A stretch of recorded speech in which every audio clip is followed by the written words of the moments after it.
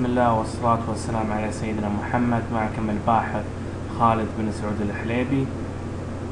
إن شاء الله في هذا الدرس راح نتكلم عن تصنيف الفطريات القسم الأول.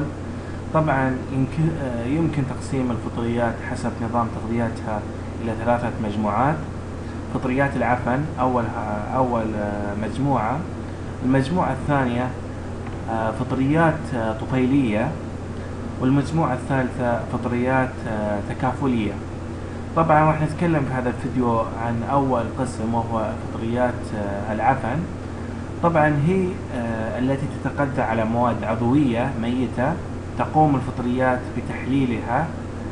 بذلك تعود الفائدة على الإنسان في البيئة بما أنها تثري التربة بالأملاح المطلوبة. طبعا هذه الفا... هذه هذا الإثراء في الأملاح المطلوبة في النمو النباتات يفيد البيئة جدا. أيضا من هذه الفطريات أنواع كثيرة جدا وراح نذكر كذا نوع.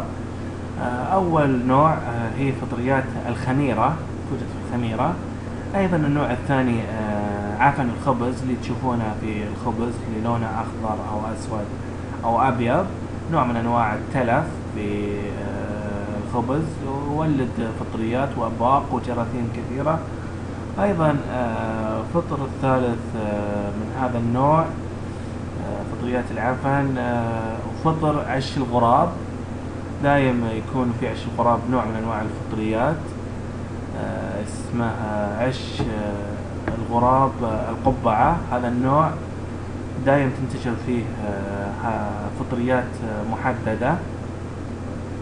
هذا النوع الأول إلى هنا انتهى الدرس. كان معكم الباحث خالد بن سعود الحليبي إن شاء الله نشوفكم في درس لاحق.